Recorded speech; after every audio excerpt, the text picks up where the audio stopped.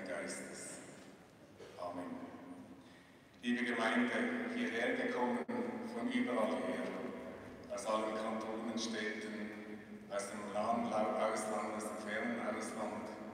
Liebe Gemeinde hier im Hauptschiff und liebe Gemeinde hinter den Säulen und Bogen, die Sie nichts sehen und trotzdem hier sind, weil Sie alle mit uns zusammen Abschied nehmen wollen von Martin Vossler um Gott für das zu danken, was alles er uns in und mit Martin geschenkt hat. Martin ist am Mittwoch, 23. Oktober, in seinem 72. Lebensjahr durch einen tragischen Unfall ums Leben gekommen. Wir sind traurig und die Hinterbliebenen und engsten Freunde sagen, wir sind ohne Groll. Auch nicht gegen den Lastwagenfahrer oder seine Firma. Martin ist ein Opfer von einer ganzen Reihe von Menschen, die zu Opfern werden, weil wir leben, wie wir leben. Das ist ganz wichtig auch als Botschaft für den Lastwagenfahrer, dem dies ohne Absicht widerfahren ist. Und das steht über allem, was wir und ich heute hier sagen und was ich auch in der Predigt sagen werde. In unserer Tradition wird für jeden Tag ein Bibelwort aus dem Alten Testament ausgelost, die sogenannte Losung. Am Todestag von Martin war es ein Wort aus Hosea 12. Das ist Zufall und Bestimmung zugleich. Es heißt dort, du wirst mit deinem Gott zurückkehren. Halte fest an Liebe und Recht und hoffe stets auf deinen Gott. Gott ruft uns das heute zu, was er zu Martin sagt. Du wirst mit deinem Gott zurückkehren. Halte fest an Liebe und Recht. Und das dazugehörende Wort aus dem Neuen Testament, das immer ausgewählt wird zur Losung, ist wie wenn Martin es heute uns mitgeben wollte. Es lautet, legt alles Gemeine und Schlechte und nehmt bereitwillig das Wort an, das Gott euch ins Herz gepflanzt hat. Es hat die Macht, euch zu retten. Liebe Gemeinde, wir vertrauen darauf, dass unsere Zeit in Gottes Händen steht. Unser Leben hat in Gott begonnen, als die Erde noch nicht war. Und wir werden in Gott noch sein, auch wenn die Erde einmal nicht mehr sein sollte.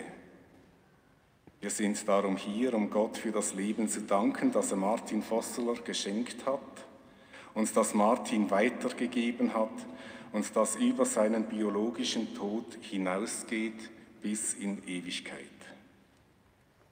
Wir neigen uns zum Gebet, bleiben sitzen. Du unser Gott, der Tod ist in unser Leben getreten. Alles ist anders geworden. Wir sind hier und können nichts mehr tun. Hilf uns das auszuhalten. Wir merken, wie viel im Leben von Martin Vosseler gelebt hat, wie es reich war. Und wir wissen um seine Not. Wir sind tief dankbar für alles, was möglich wurde in Martins Leben, für das Geschenk, mit ihm unterwegs zu sein, für die Freundschaft und die Liebe.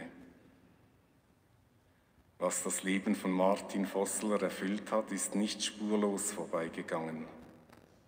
Es war wie ein Geheimnis, dem wir manchmal ganz nahe gewesen sind und von dem wir auch spüren, wie viel uns verborgen blieb.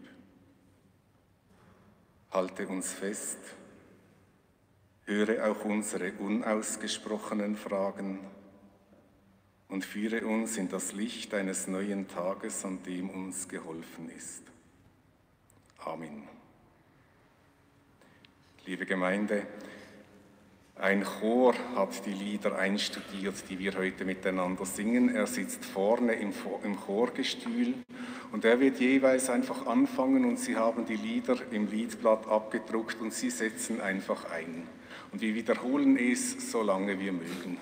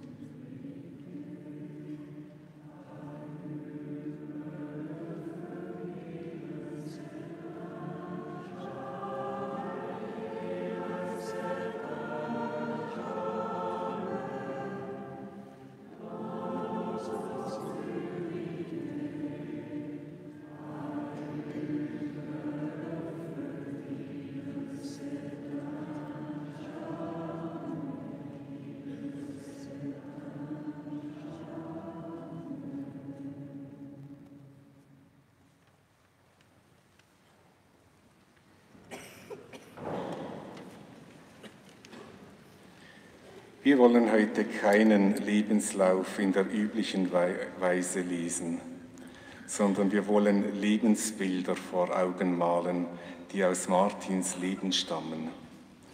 Es spricht zuerst Martins Bruder, Beat Vosseler.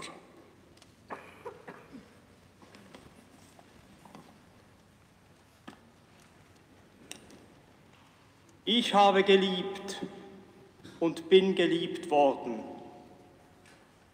Ich habe einige meiner Begabungen entwickeln und entfalten dürfen. Ich weiß um gute Freundinnen und Freunde. Ich hatte reiche Zeiten mit vielen Eindrücken und unvergesslichen Begegnungen. Ich habe nicht das Gefühl, etwas verpasst zu haben, wenn ich sterbe. Worte von Martin sehr berührend und trostreich. Ich durfte mit Martin eine schöne, farbige und bereichernde Lebenszeit erleben und ich möchte einige Bilder daraus aufleben lassen. Wir sind behütet mit unseren Geschwistern Päule und Rosi auf dem Bruder Holz aufgewachsen. Schon als Knaben wurde uns Elm zur zweiten Heimat. Dort vertiefte sich bei uns die Liebe zur Kreatur. In warmer Erinnerung ist die gemeinsame Pflege der Geißen von Familie Schenker. Heimelig war es im dämmerigen Stall beim Misten, Striegeln und Melken der acht Ziegen. In Elm legten wir auch unter kundiger Anleitung unseres Vaters ein Herbarium der Elmer Fauna an. Wir pressten, bestimmt und beschrifteten die Pflanzenwelt Elms und erlabten uns am betörenden Duft des Männertreus. Die Liebe und die Sorge zu und um die Natur wurde so geweckt und vertieft. Später, kurz vor Schluss seiner Schulzeit im HG hier auf dem Münsterhügel, spielte Martin in einer Schüleraufführung von Roses die zwölf Geschworenen, den achten Geschworenen. Wie staunte ich über die schauspielerische Leistung, mit der Martin die elf anderen Geschworenen zu einem Nichtschuldig für den Angeklagten überzeugte. Dieses schauspielerische Talent hat Martin dann auch im Kabarett ausgelebt oder wenn er am 50. Geburtstag von Ursula als Korpskommandant Orden verteilte, dem 70-jährigen Bruder als Kaiser von China huldigte oder zum hohen Geburtstag von Rosi als uchiger Elmer Bauer in Versform gratulierte. Zudem trat er sein ganzes Leben lang engagiert und fundiert für seine großen Anliegen und Visionen oft auch gegen anfängliche Widerstände ein. Seine Studienzeit wurde begleitet von militärischen Kursen, die der angehende Arzt in der Sanität absolvierte. Den 100-Kilometer-Marsch am Ende der Offizierschule bewältigte er als Bester. Erstaunlich vor allem auch darum, weil seine Turnnote im Gimmi weit unter dem sonst dauernd sehr hohen Notendurchschnitt der restlichen Fächer lag. Ein gemeinsamer Wiederholungskurs in Fiesch taucht als Erinnerung auf. In diesem haben der Bataillonsarzt und der Nachrichtenoffizier den Soldaten durchaus im Rahmen der militärischen Ausbildung das kulturelle und landschaftlich schöne Wallis erleben lassen. Ernen mit Orgelkonzert, Bin mit Kristallsucher, Eckishorn beim Sonnenaufgang und Kirche Raron, wo Martin am Grab Rilkes Gedichte rezitierte. Es war dies der letzte große militärische Auftritt. Kurz darauf verweigerten die beiden Brüder aus Überzeugung den Militärdienst. Enge Kontakte von Martin zu Dorothea Sölle und ein gemeinsamer Besuch eines Gottesdienstes bei der Theologin in Schaffhausen drückten dem Brüderpaar einen Stempel auf. Von der Ausstrahlung Sölles bewegt fand Martin zur Kirche zurück und für meine Familie begann eine zwölfjährige autolose Zeit. Aber auch im Einsatz für einen Stopp des AKWs Kaiserhaut standen beide Brüder aktiv Seite an Seite. Dann trennten sich langsam die gemeinsamen Wege der Brüder. Innerlich immer noch sehr eng verbunden blieb einer der beiden mit seiner Familie sesshaft, während sich der andere, seinem Rufe folgend, der weiten Welt zuwandte. Im Anschluss an seine Jahre in Amerika erklomm Martin mit je 15 Ärzten aus den USA und der UdSSR den 5600 Meter hohen Elburs mit dem Ziel einer Friedensmission zwischen Ost und West. Der Keim war gelegt für viele Missionen und Aktivitäten im Blick auf die Erhaltung unserer Mitwelt gegen Atomkrieg und um einen Weltfrieden aber darauf werden kompetente Redner später noch eingehen. Auf langen Wanderungen und mit Hunger und Sitzstreiks trug Martin seine Anliegen und Ideen in die weite Welt. Er wurde zu einem Vorbild, zu einem Visionär und erreichte mit seinen Gesprächen, Reden und Aktivitäten eine breite Öffentlichkeit. Er hatte für alle ein offenes Ohr und war für sein Gegenüber immer ganz da, stets präsent. Und so erweiterte er seinen großen Freundeskreis. Nicht immer aber war es für seinen Bruder und dessen Familie einfach, im Windschatten von Martin zu segeln. Und oft bekam der Prophet im eigenen Land von uns nicht immer die nötige Anerkennung. Umso schöner und inniger waren dann seine Begegnungen mit der Familie. Er war ein lieber Freund seiner vier Nichten und Neffen. Sein Geigenspiel faszinierte Groß und Klein so, dass ein dreijähriges Großkind bei der Todesnachricht weinend sagte, jetzt ist der größte gestorben. Oft bat mich Martin auch, mit ihm nach Helm zu fahren, um Bücher zu holen. Er bat um Hilfe beim Zügeln oder um Sonnenblumen für eines seiner schönen Feste zu schneiden. Auf diesen Fahrten, die ich immer sehr persönlich und bereichend empfand, lebte unsere Lebenserinnerung wieder auf. Einmal benutzte er eine solche Fahrt sogar für sein Coming-out mir gegenüber. Das Stehen zu seiner langen, verdrängten Sehnsucht empfanden wir bei ihm als große Befreiung. Wir hatten mit Martin eine schöne Zeit. Er war uns ein lieber Onkel, Bruder und Schwager, ein lieber Freund. Martin war ein bunter, vielfarbiger Mensch. Er liebte das Schöne. Sein Haus in Elm war ein gepflegter, liebevoll eingerichteter Ort der spirituellen Begegnungen. Martin legte für sich hohe Maßstäbe an und unterwarf sich immer wieder seiner eigenen Disziplin. Er konnte aber auch genießen. Ich denke an die berühmten Trüff du Jour von Sprüngli, die ihn unter anderem vom Veganer wieder zum Vegetarier führten. Er war ein großer Zeichner, der mit zarten Farben, Farben Stimmungen und Erlebtes einfangen und zeichnerisch festhalten konnte. Konnte aber auch mit kräftigem Strich witzige Zeichnungen hervorzaubern. Er liebte Rilke. Er war aber auch selbst Meister der Reime, die er seinen verschiedenen Rollen kunstvoll in den Mund legte. Seine Bücher berühren und begeistern große und kleine Leserinnen und Leser immer wieder. Kurz, er war ein Künstler. Und er konnte lachen und fröhlich sein. Daneben aber machte er keinen Hehl daraus, wenn ihn etwas betrübte und traurig stimmte.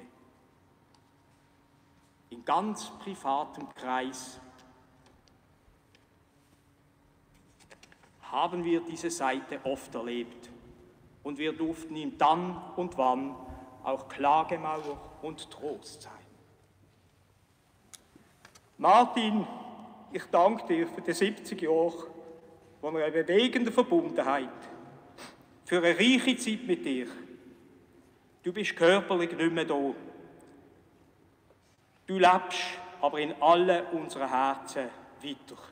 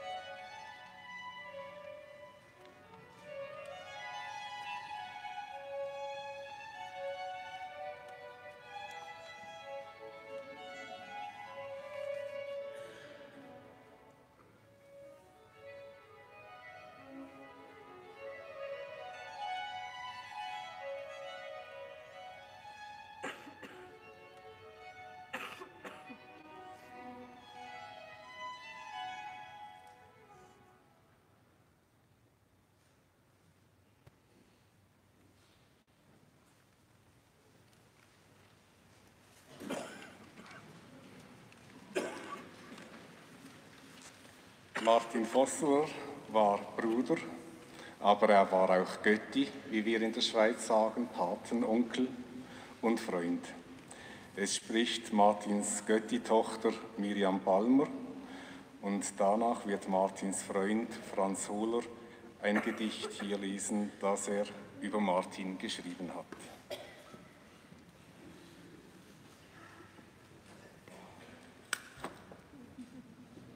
Dein Schirm! Du hast ihn am 21. September an unserem Familienfest vergessen und mir nachher gesagt, du kämst ihn dann mal abholen. Jetzt, da ich weiß, dass du nie mehr vorbeikommen wirst, bleibt das Bild, wie du mit dem sonnengelben Schirm und deinem Koffer pfeifend anspaziert kamst, wohl ewig in meiner Erinnerung. Der Schirm hat dir nicht nur als Regenschirm gedient, an diesem Tag war es ein Sonnenschirm. Und die Sonne hat dich dein Leben lang begleitet. Ein Auszug aus deinem Buch Der Sonne entgegen aus dem Jahr 2010. Vor 20 Jahren ist die Sonne ins Zentrum meines Lebens gerückt. 1990 sitze ich in der Strafanstalt Kloster Vierchten in Basel eine Haftstrafe ab.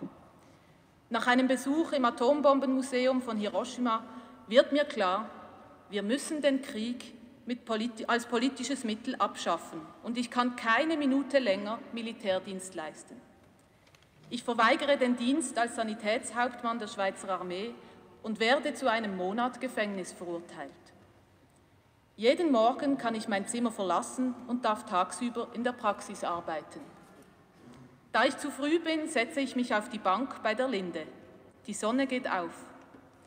Sie kommt jeden Tag, will uns sagen, Gestaltet euer Leben mit mir. Ihr habt ja alle Mittel. Lernt doch endlich mit mir zu leben. Damals beschließe ich, mich für ein Leben mit der Sonne einzusetzen, solange ich lebe. Darum bin ich für die Sonne unterwegs. Ich kann mich lebendig daran erinnern, wie meine Eltern mir als achtjährigem Mädchen sagten, wir gingen am Samstag Götti Martin im Gefängnis besuchen. Ich stellte mir vor, dass du hinter Gittern bei Brot und Wasser sitzen musst. Am selbigen Samstag verstand ich die Welt nicht mehr. Das Gefängnis war ein schönes Haus mit großem Garten und einem freudigen Fest mit Dutzenden deiner Freunde. Du hast Sonne und Freude ins Gefängnis gebracht. Du hast vielen Leuten die Sonne gebracht, zum Beispiel auf deinen Sonnenwanderungen, wo du die Leute, denen du begegnet bist, von deiner Mission erzählt hast aber auch wenn du in der transsibirischen Eisenbahn deine Geige ausgepackt und dein tägliches Konzert gegeben hast. Ich habe so viele Erinnerungen an dich, die direkt mit der Sonne verbunden sind. Wie wir zusammen in Elm standen und die Sonne durchs Martinsloch schien. Wie wir mit dem Solarkocher gekocht haben. Wir alle hier haben solche außergewöhnlichen, schönen und berührenden Erinnerungen an dich und ich bin sicher, viele davon stehen in Zusammenhang mit der Sonne. Du hast dein Wort eben gehalten und dein Leben der Sonne gewidmet. Zwischendurch erschien einem deine Überzeugung aber auch als Sturheit. Niemand konnte dich beim Widerstand gegen die Zollfreistraße vom Fasten abbringen, obwohl nicht alle von diesem Mittel begeistert waren. Oder in der Türkei konnte dich nur die Pistole eines Hauptmanns davon abhalten, aus Prinzip zu Fuß durch ein militärisches Manövergebiet zu laufen und für die wenigen Kilometer ins Taxi zu steigen. Nun bist du einfach gegangen, völlig ungeplant, wie so oft. Du kamst spontan vorbei und warst auch bald wieder weg. Auch jetzt, du bist einfach weg. Das ist die einzige Parallele, die ich zwischen diesem brutalen Unfalltod und deinem Leben finden kann. Ansonsten, ansonsten stimmt es so gar nicht. Aber du hast es einem Freund vor kurzem geschrieben, du warst bereit für den Tod, auch für einen plötzlichen. Nur ein leichter Trost. Was bleibt? Es bleibt viel von dir zurück. Deine Fähigkeit, Beziehungen zu knüpfen und für so viele ein naher Freund zu sein. Kindergeschichten, Bücher, Karten, von dir gegründete Organisationen und viele, denen du deine Überzeugung vermittelt hast, dass die Sonne uns unendlich Energie schenkt, die wir nutzen sollten. Wir werden deine Vision weitertragen und mit unserem Engagement, das du bei vielen von uns direkt mit deinem verbunden ist, deinen Traum weiterleben. Danke für alles, sei beschirmt und hab's gut.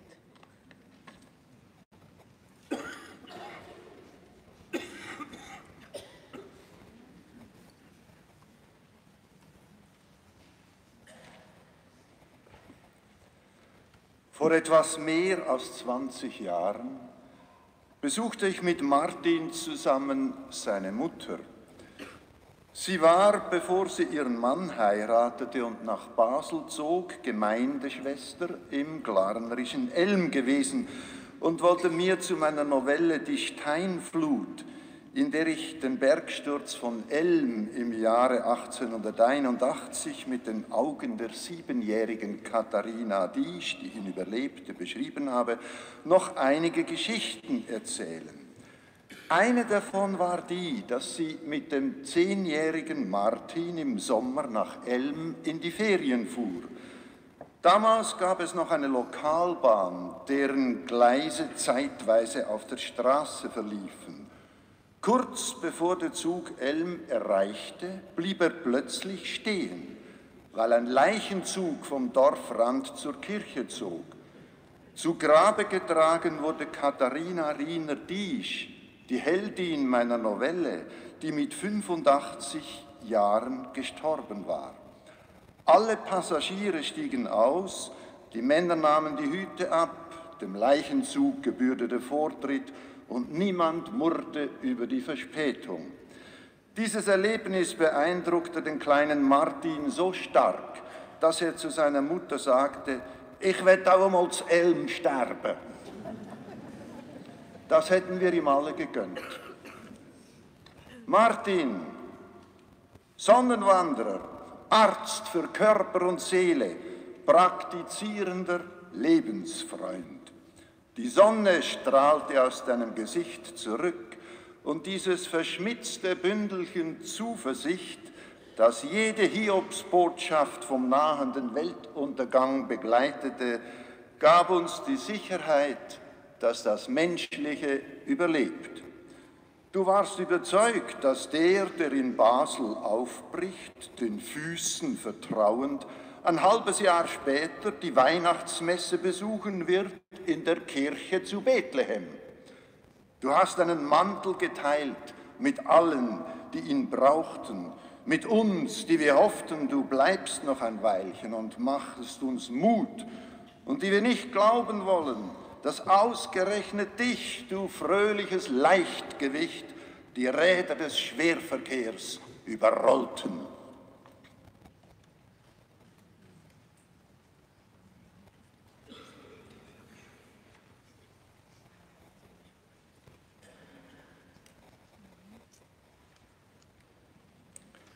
Du, du Leichtgewicht, du Fröhliches. Wir singen ein Loblied. Himmel, Erde, Luft und Meer. Sie finden es auf dem Liedblatt. Sie erheben sich dazu.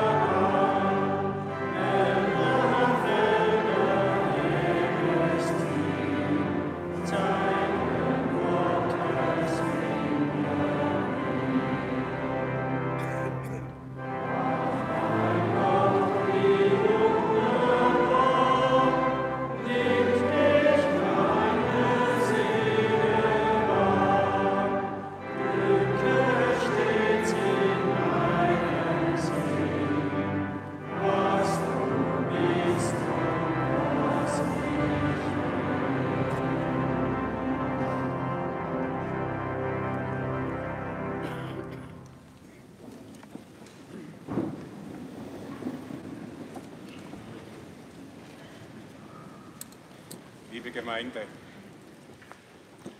Liebe Gemeinde, der Apostel Paulus hat vor 2000 Jahren bereits erkannt, dass der Mensch auf Kosten von anderen Menschen und auf Kosten der ganzen Schöpfung lebt. Und dazu gilt, wir sind ohne Groll. Martin ist ein Opfer von einer ganzen Reihe von Menschen, die zu Opfern werden, weil wir leben, wie wir leben. Und dazu schreibt der Apostel Paulus in einem eindrücklichen Text, er gibt der Schöpfung und aller Natur darin eine Stimme. Er hört, wie alles Leben, auch der Mensch selbst, unter dem Menschen leidet und seufzt. Es heißt im Römerbrief, in sehnsüchtigem Verlangen wartet die Schöpfung auf das Offenbarwerden der Söhne und Töchter Gottes. Die Schöpfung wurde nämlich vom Menschen der Nichtigkeit unterworfen, nicht weil sie es wollte, sondern weil er, der sie unterworfen hat, es wollte.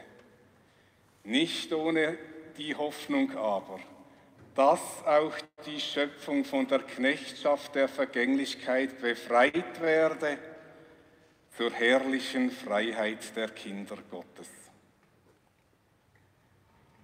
Liebe Gemeinde, ich sehe ein Land, ich sehe einen Kontinenten, ich sehe die Nordhälfte der Erde und die leben auf Kosten der Schöpfung. Und man sagt sich, wir haben es gut, wir sind frei.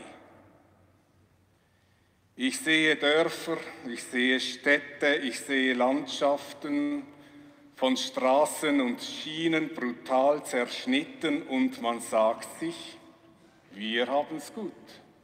Wir sind frei. Ich sehe Menschen, ich sehe Gruppen, ich sehe Massen, die rasen durch Dorf und Stadt und die sagen sich, wir haben es gut. Wir sind frei. Da sind Häuserfluchten, da sind Siedlungsräume, da sind Abendhimmel, die sind nachts noch taghell und man rast und man ruft, wir sind frei. Alles ist voll des Geschäfts, sieben mal 24 Stunden hell, sieben mal 24 Stunden Verluste und Gewinn. Und niemand ist, der nicht mitmachen könnte. Ich sehe Menschen, die kämpfen um ihre Stelle die kämpfen um ihr Auskommen, die kämpfen um gutes Leben und sie wissen, dass nur wer oben ist, frei sein kann. Ich sehe Länder, da wollen alle oben sein. Sie kämpfen und streiten, sie rasen und rasen, sie überbieten und überbieten. Und ich lese Martins Übertragung des Unser Vatergebets wie sie in der Festschrift zu seinem 70. Geburtstag nachzulesen ist. Ich lese, Mutter und Vater alles Geschaffenen, dein Name tönt heilig durch Zeit und Raum, dein göttliches Einssein schaffe in Liebe und Licht ewig und jetzt. Und ich, ich sehe Menschen, die wollen begehrt sein. Ich sehe Menschen, die wollen Sieger sein. Ich sehe Menschen, die wollen überlegen sein. Sie wollen so sein, wie man Menschen haben will. Sie wollen umworben sein. Umworben in ihrem Können und Wissen auf der ganzen Welt. Sie sagen sich, dann bin ich frei. Sie sind Umworbene. Wie Touristen in der Fremde, so sind sie die Begehrten, die man bei sich haben will, bedienen, hofieren, loben. Das ist die Welt des Nordens, die Welt der Touristen. Touristen im Leben und Touristen auf der Welt und sie ziehen die Welt in sich ein, sie schlingen und schlingen noch einen Job, noch einen Bonus, noch ein Unternehmen. Diese Touristen im Leben und sie rasen und rasen auf Straßen, auf Schienen in der Luft, sie rasen durch, schneiden Dörfer, Städte, Landschaften brutal. Und es schreit um sie, doch sie hören nicht. Und ich lese in Martins Unser Vater weiter.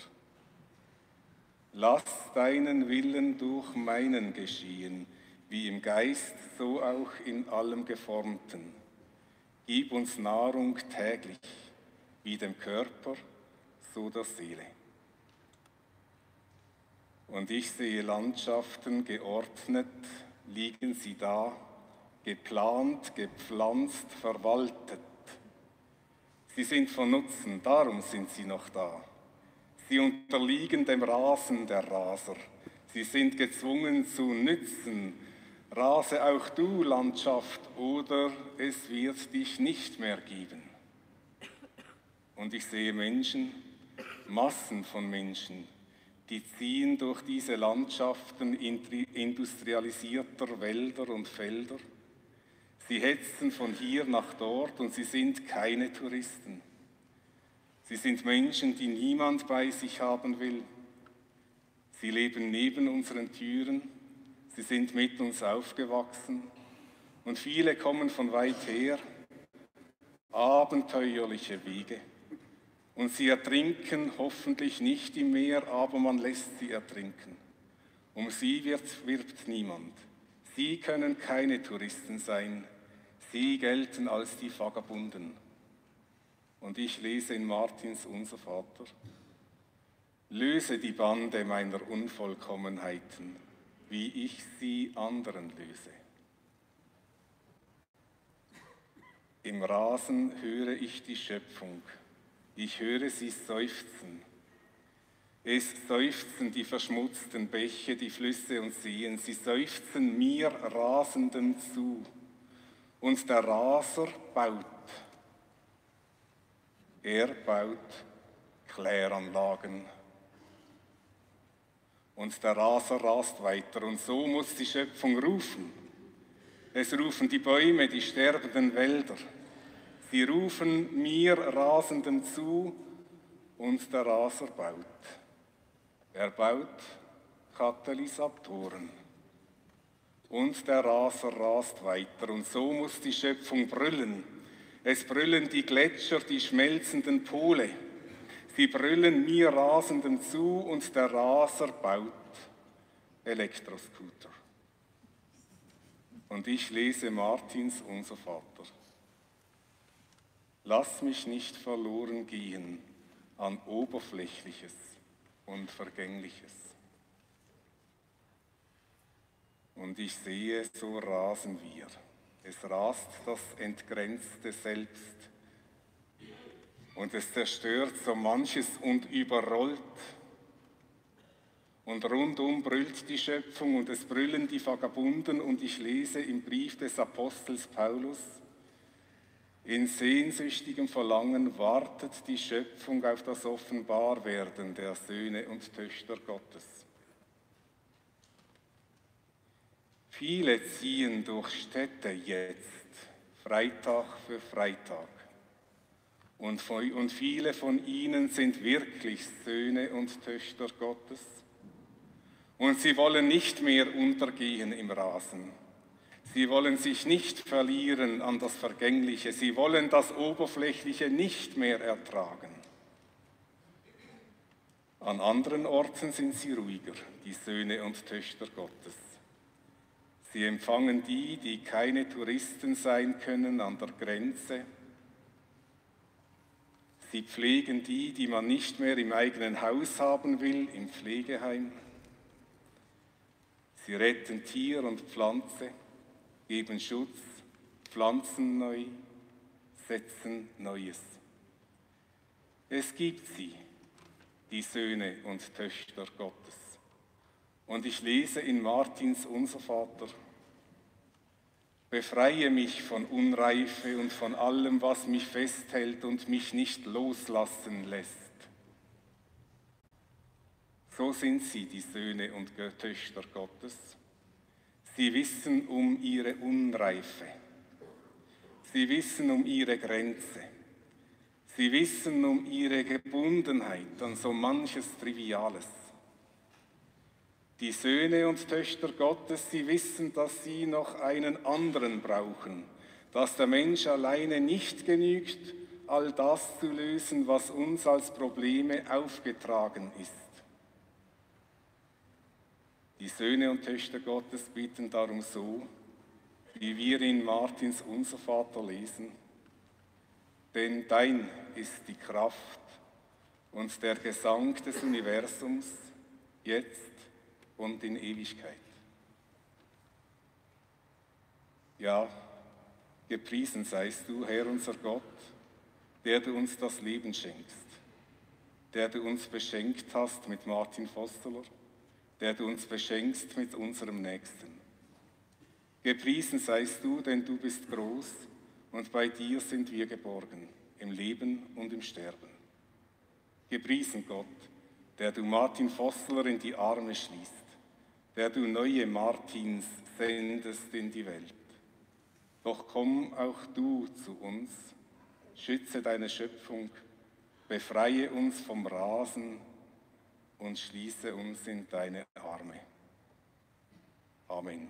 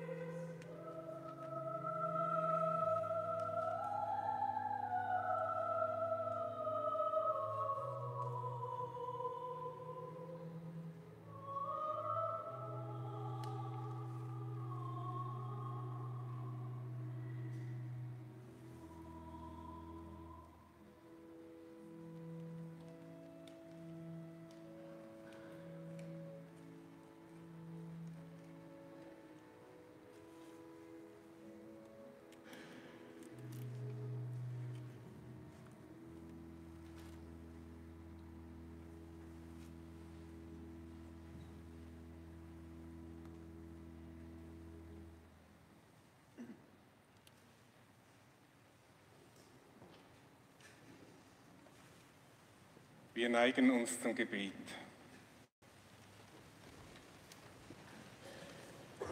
Du unser Gott, Vater im Himmel, deine Herrlichkeit schauen zu dürfen, erbitten wir, dein Wirken zu erkennen im Verwirrenden unserer Zeit, deine Fürsorge zu erfahren in unserer Schwachheit, dein Zurechtbringen unserer Welt miterleben zu können, erbitten wir, die nach dir verlangen. Herr Jesus Christus, dass deine Menschlichkeit, deine Demut, deine Kraft Menschen gewinne, sie hindere an dunklen Machenschaften, Frieden bringe uns Friedlosen, Trost uns Leidenden, Vertrauen uns Verzweifelnden und Verzweifelten. Erbitten wir nach dir verlangend. Heiliger Geist, dein Wirken erhelle die vielen Dunkelheiten. Deine Kraft zur Hoffnung lasse uns den nächsten Tag vertrauensvoll angehen. Deine Fähigkeit zum Lieben mache uns stark. Deine Beharrlichkeit mache unsere Erwartung auf Vollendung brennend. Und in der Stille bringen wir Gott unsere persönlichen Bitten vor dich.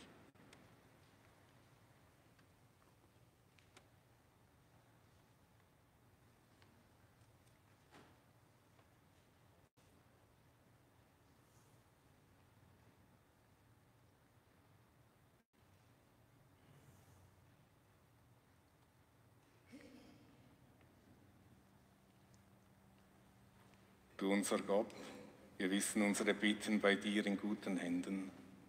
Wir danken, dass du uns hörst. Amen. Bonum est confidere. Der, der Chor beginnt und wir setzen ein.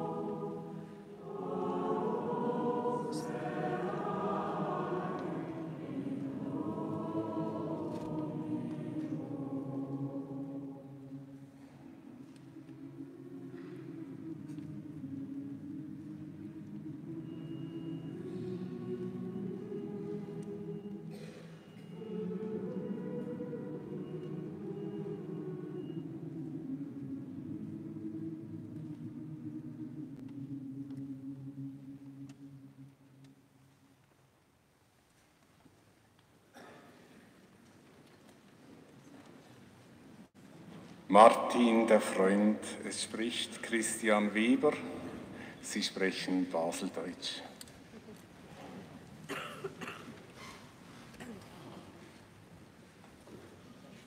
Lieber Martin, Ich schreibe den Abschiedsbrief in Schweizerdeutsch und im Präsens, weil du mir ganz gegenwärtig bist.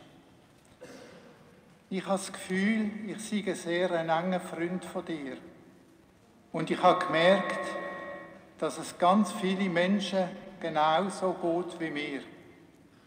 Viele fühlen sich dir sehr nach und das hat zu tun mit deiner Präsenz im Augenblick, mit deiner Empathie, wo du deinem Gegenüber und seinem Kern entgegenbringst. So fühlen wir Freunde uns von dir geachtet im Wesen, verstanden und angenommen. Auch in deinen Brief lebst du die tiefe, verbindliche Nähe mit uns. Du beschenkst uns mit deiner wunderschönen, geschwungenen Schrift, mit den spontanen kalligraphischen Tuschenzeichnungen, oft mit einem Vögel an einem Wolkenrand. Und in diesem Kunstwerk steht der persönliche Inhalt und Dankbarkeit für die Freundschaft. Unsere Geburtstage vergissest du nie und wir spüren auch physisch deine Nähe, weil du immer vorbeikommst. Und das etwa nicht, weil du jeden Tag sowieso 10.000 Schritte machen willst, sondern weil dir die Beziehung wichtig ist. Viele von deinen Freunden auf der ganzen Welt haben auch in Krisen, Krankheit und im Sterben deine Treue und Hilfsbereitschaft dürfen erleben. Die unterstützende Haltung, wo du unserem Planet und der Natur entgegenbringst, die vorbehaltlose Liebe dürfen auch wir Freunde von dir erfahren. Es kommt mir vor, wie wenn wir eine große Familie wären. Über Jahre hast du bei uns im Haus gewohnt, zwischen deinen Wanderungen. Und wir haben die Pfeife gehört im Gang und ein leisliches, längeres Knarren zur Nacht, wenn du spät heimgekommen bist. Das ist gekommen, weil du nie ins Bett gehst, ohne vorher deine Turnübungen zu machen. Wir haben zusammen gegessen und uns Büch gehabt vor Lachen, wenn du uns im jeweiligen urchigen Dialekt ein Erlebnis vorgespielt hast. Sei das ein Glarner Bauer aus Elm, eine lustige holländische Bekanntschaft im Zug oder auch ein Aff auf dem Baum. Mit deiner Giege und mit deinen vielen Sprachen, die du kannst, hast du auf der ganzen Welt die Herzen geöffnet. Zum Beispiel in der transsibirischen Eisenbahn, wo unterwegs ein ganzes Ensemble entstanden ist. Großartige Vers und kabarettistische, kabarettistische Einlagen wie der Kaiser von China, der Oberstkorpskommandant Fossolar oder der Rocker Schorsch zeigen die Reichtum an Kreativität, Ausdruckskraft und Menschenkenntnis. Diese Figuren sind auch humorvolle Überbringer von deiner Botschaft. Du hast etwa 300 Gedichte, vor allem Rilke und Lieder, auswendig rezitieren und singen können, was dir Schwung gegeben hat auf deine Wanderungen. Du hast gemeint, das ist ein Schatz, den man niemals nehmen kann und den ich allenfalls auch im Gefängnis könnte brauchen. Die Beziehung, Sensibilität, und die künstlerische Ausdruck in Wort, Bild und Klang haben die im Wesentlichen näher gebracht. Lieber Martin, jeder von uns könnte Erinnerungen anführen von berührenden Begegnungen mit dir. Dein Engagement und deine Zuversicht sind uns ein Vorbild. Wir hoffen, dass wir ein Teil von deiner Liebe und Solidarität zu den Menschen, der Natur, den Mitgeschöpfen und der Mutter Erde können mitnehmen und weiterleben. Wir danken dir für deine Liebe. Deine Christian und Marilot, zwei von deinen vielen Freunden.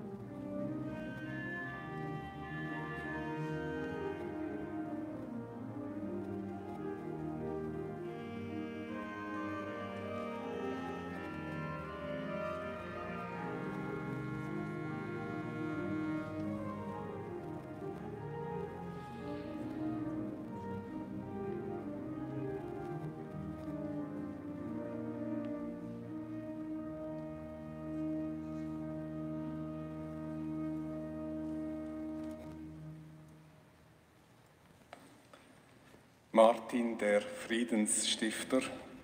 Es spricht Jean-Jacques Fasnacht, Präsident der Ärztinnen zur Verhütung des Atomkriegs.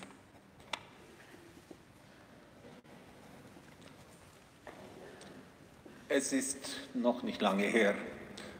Vor gut einem Monat standen wir zusammen mit Martin in unseren weißen Ärztemänteln unter den 100.000 Teilnehmerinnen und Teilnehmern an der so überwältigenden, farbigen und vibrierenden Klimademonstration in Bern, eng aneinander geschmiegt. Vereint für Klimagerechtigkeit, vereint für eine gesunde Umwelt und vereint für ein friedfertiges, gutes Leben, für uns und unsere Nachkommen. Martins Gesicht leuchtete Es waren seine Anliegen, für die er so unentwegt kämpfte. Neben uns eine türkische Gruppe Demonstrierender. Und schon war Martin mit ihnen im Gespräch auf Türkisch. Du musst mit den Menschen kennen reden, meint er dann mit einem strahlenden Lächeln. Und dass er Türkisch gelernt habe, auf dem Weg nach Anatolien, auf seiner Weitwanderung für die Energiewende nach Jerusalem. Im Demozug weiter vorne dann ein junger Mann, der ein Plakat hochhält. AKW, ja bitte, gegen den Klimawandel, stand da. Der junge Mann glaubt das wirklich. Das muss man auch respektieren. Eine gute Viertelstunde hatte Martin mit ihm intensiv geredet, mit all dem großen Respekt gegenüber Andersdenkenden, was ihm immer so enorm wichtig war. Denn es gehe um das friedliche Zusammenleben und man müsse wegkommen vom bloßen Argumentieren, vom sich gegenseitig fertigmachen hin zum Debattieren, um gemeinsam gute Lösungen zu finden. Ihr alle kennt sicherlich auch unzählige Geschichten und Anekdoten zu Martin. Sie werden uns auch weiter begleiten und ganz gewiss immer wieder aufs Neue inspirieren. Martin war ein ungemein bewegender Mensch, ein Menschenfreund, ein Brückenbauer. Zugleich war er auch ein bewegter Mensch in allen Belangen. Ein Mensch, der für seine Visionen und Ideale Feuer fangen konnte. Ein Mensch, der mit seiner Überzeugungskraft, seiner Kreativität, seinem Humor und seiner Liebe zu den Menschen und der Natur uns alle beseelte und beseelt. Als junger Arzt lernte Martin in Boston den legendären Kardiologen Bernhard Lawn kennen, den Erfinder der Elektroschockbehandlung bei Herzrhythmusstörungen. Angesichts, angesichts des Wahnsinns und der katastrophalen Auswirkungen eines Atomkriegs begründeten er zusammen mit seinem sowjetischen Kollegen Evgeny Khatzow 1980 mitten im Kalten Krieg die internationale erste Organisation für die Verhütung des Atomkriegs IPPNW. Martin hatte Feuer gefangen und unmittelbar zurück aus den USA initiierte er schon die Gründung des Schweizer Ablegers der Internationalen Ärzteorganisation, die am 10. April 1982 im Bahnhof Buffet Bern in nur knapp einer Stunde konstituiert war. Frieden duldete und duldet keinen Verzug. Einen kleinen Teil der 1985 der Organisation vermittelten und zugesandten äh, Nobelpreis des Nobelpreises gebührt ganz sicher auch Martin. Von Beginn an ging es Martin und PSR IPPNW Schweiz, wie es so kompliziert heißt, heißt, auch um den Kampf gegen die AKWs, als eine menschenverachtete Technologie mit unabsehbaren und unbeherrschbaren Gefahren. Getragen von der Sorge um die Umwelt, Getragen von der Sorge um Gesundheit, um das Leben künftiger Generationen, half Martin dann 1986 die Ärzteorganisation Ärzte für die Umwelt aus der Taufe zu heben. Es ging dabei 1986 nicht alleine nur um Luft ist Leben und das allgegenwärtige Thema Waldsterben. Es war auch das Jahr von Tschernobyl und der Umweltkatastrophe von Schweizer Halle. Menetekel für all die kommenden menschgemachten Desaster und Dramen. Martin war uns ein ungemein faszinierendes und mitreißendes Vorbild. Er war uns ein herzensguter Freund. Er hat die Aufgaben und Überzeugungen unserer beiden Ärzteorganisationen mit Herz und Seele und gewürzt mit seinem feinen Humor vorgelebt den unbedingten und unerschütterlichen Einsatz für den Weltfrieden, den selbstlosen und resoluten Kampf für eine intakte Natur und den tiefen Respekt vor anderen Lebewesen. Lieber Martin, wir sind sehr traurig, dass du nicht mehr bei uns bist. Aber deine Worte, deine Ideale, deine Visionen, sie leben in uns weiter. Und das macht Mut. Wir werden deine Fackel auf dem Weg hin zu einer erdverträglichen Menschheit weitertragen. Mit großer Überzeugung und mit einer Prise Musik. Danke, lieber Martin.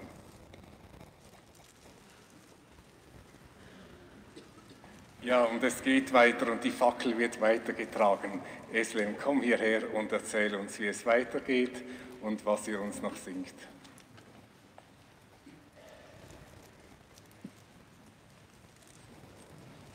Ich bitte alle Klimaaktivistinnen nach vorne zu kommen.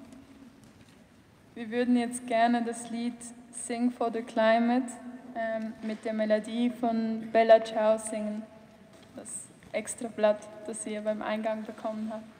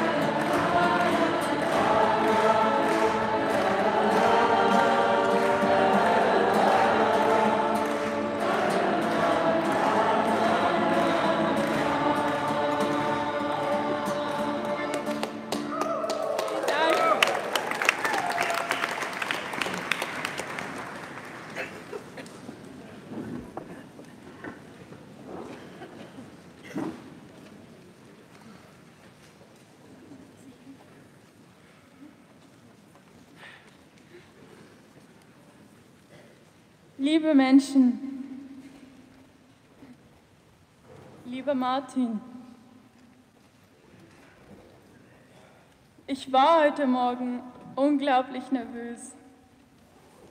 Ich war nervös, weil ich die große Verantwortung und Ehre spüre, Denn ich spreche heute nicht nur für mich, sondern für die Schweizer Klimabewegung, die seine Botschaft weitertragen wird.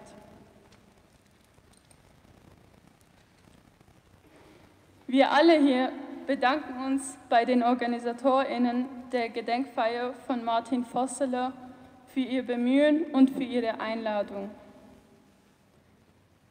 Im Namen der Schweizer Klimabewegung möchte ich uns auf unser aufrichtiges Mitgefühl und Beileid über den Tod des weltbekannten Basler Friedens- und Klimaaktivisten Martin Vosseler aussprechen. Wir wünschen allen Menschen in seinem direkten Umfeld viel Hoffnung und Kraft in dieser schwierigen Zeit. Schon 1975, als das Umweltbewusstsein noch nicht so groß war wie heute, hatte sich Martin für eine nachhaltigere Schweiz bei den Protesten gegen das geplante Kernkraftwerk in Kaiseraugst eingesetzt.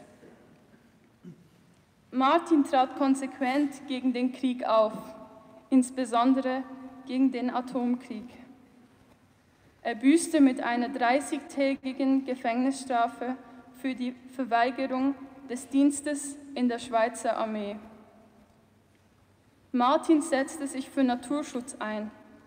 1993 fastete er 41 Tage gemeinsam mit Bruno Manzo vor dem Bundeshaus in Bern als Protest gegen den Import von Tropenholz.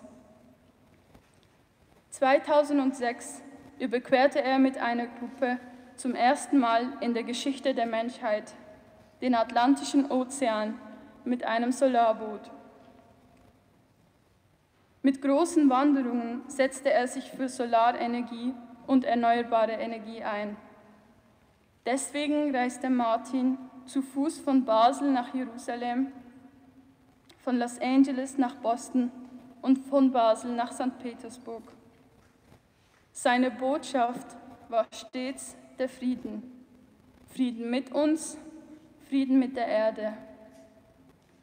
Wie gerne wäre ich bei seinem Hungerstreik für den Regenwald, seiner Bootsfahrt und seinen Wanderungen dabei gewesen.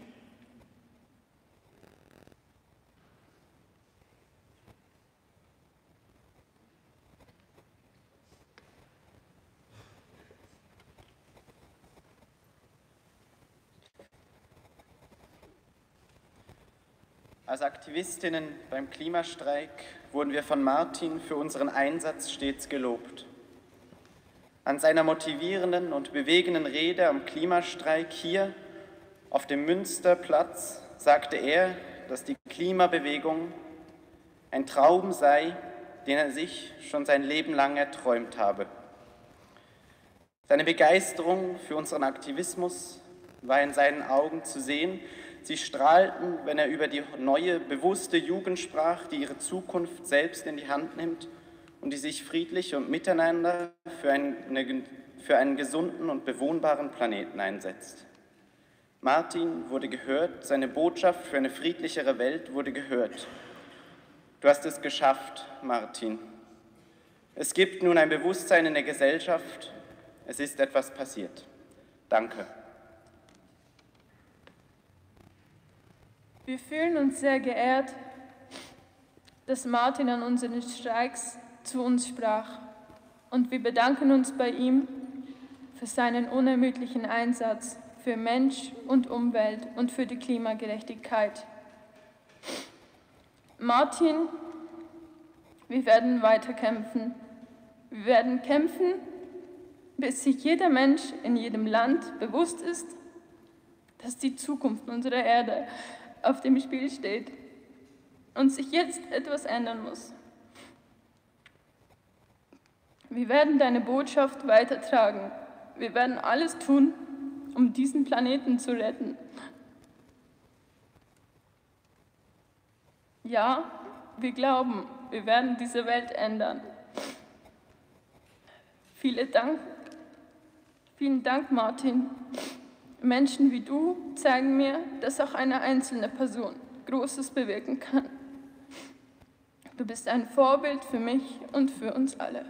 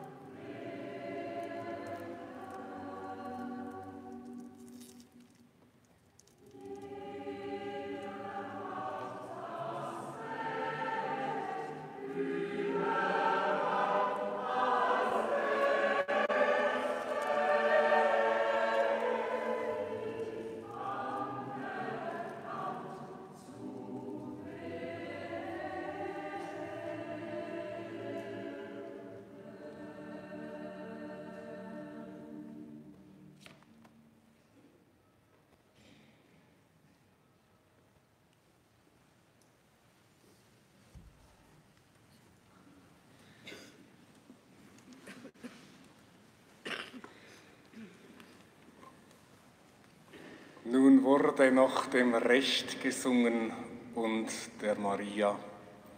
Dieses Haus ist eine Marienkirche.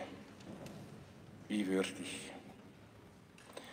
Während des nachfolgenden Ausgangsspiels wird die Trauerfamilie das Münster als erste verlassen und sie bittet Sie, liebe Freunde, mit ihr ins Volkshaus im Kleinbasel mitzukommen und unmittelbar anzuschließen. Dort können Sie ihr auch ihr Leid ausdrücken und Sie können mit ihr noch zusammen sein bei hoffentlich auch frohem Dankesfest. Martin war ein offener Mensch, wir haben es gehört. Er würde sie alle einladen. Darum sind sie alle eingeladen zum Fest im Volkshaus. Wir wollen einen kleinen Umzug gestalten vom Münsterplatz ins Kleinbasel. Die Sängerinnen und Sänger vom Stimmvolk bilden den Abschluss des Umzugs und singen Lieder, bei denen sie gerne mitsingen dürfen. Aber am Ausgang, da stehen an der Türe Kollektentöpfe.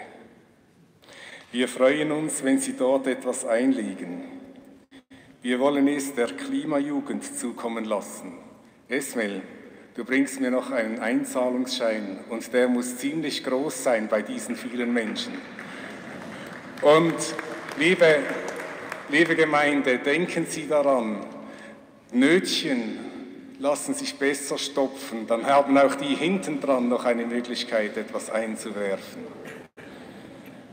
Gott segne Geberinnen, Geber und Gaben. Wir erheben uns zum gemeinsamen Unser Vater und zum Segen.